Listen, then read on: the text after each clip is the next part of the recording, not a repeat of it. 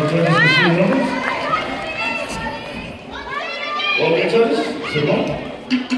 now roll the ladies, he makes back. Go towards the right now.